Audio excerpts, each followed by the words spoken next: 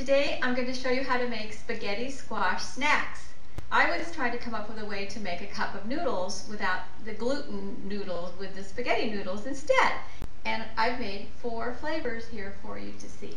I made saffron, spicy chili, Thai chili actually, my Thai chili, and cinnamon, and Italian. I mixed up the sauces, the marinades.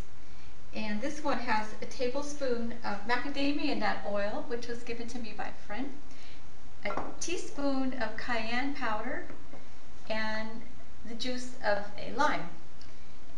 For both recipes, I used my fermented garlic, and I, uh, this is what I use when I don't have fresh, so I always keep that in the refrigerator.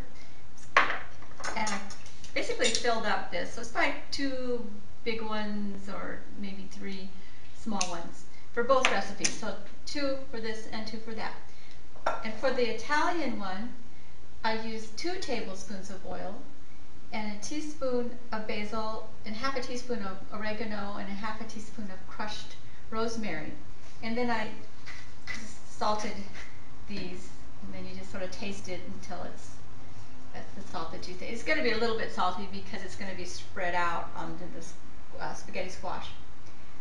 So we just let that set and mill a little bit. These have been marinating for about 10 minutes and it looks so yummy I can hardly keep from eating it out of the bowl. But I know that snacks are important. If you don't have healthy snacks around the house, your family members will find other things that are not so healthy to snack on. So I want to show you how to put them on the sheets because if you put them very thinly laid out like this, you'll get something that looks like this that really isn't very interesting to me anyway. Or if they're too thick, like where there's no holes here, like this, then you will get something that looks more like a potato chip, which maybe you might like to do that. But I like this more interesting look where you have a few holes in it and you get this beautiful snowflake, crispy, beautiful snack.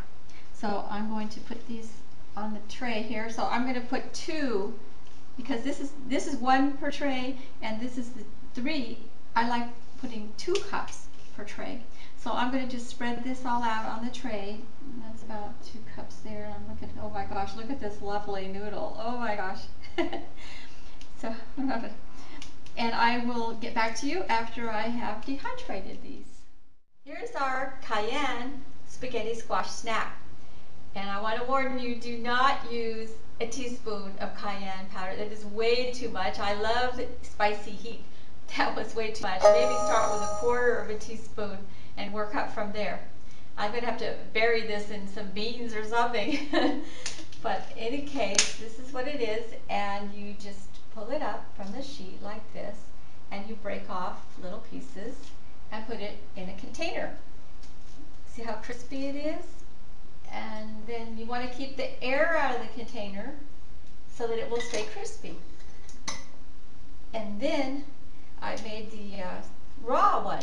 And here's as much as I could get out of the raw. I wasn't able to get all the meat out of it, so I'm going to have to boil some of this or, or steam it to get the rest out. This is what happens when you steam or bake. You can get every last piece of meat out of it. And I also like to save the seeds because they're so nutritious. And you just uh, rinse them in the colander and then put them on one of the sheets. Because this was a raw batch, I was able to, I had the raw setting going anyway, so I dried these on raw, raw so they have all their nutrition still in them. You can eat them the whole seed or you can crack them and eat just the inside. This recipe here is a cinnamon recipe and I use a tablespoon of butter and a teaspoon of cinnamon and half a teaspoon of molasses.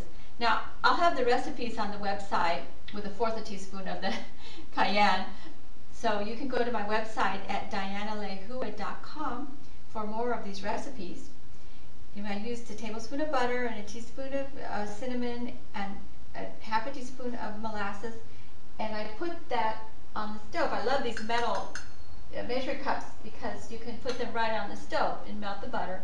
And then I put that in the pot and the spaghetti squash and let it sit there for about five minutes or so, then put it on the tray. And this took about two days. The first day, it was chewy, but you might like it that way. It was kind of nice, but I wanted it crispy. So I let it go for two days, and there you have a healthy spaghetti squash snack.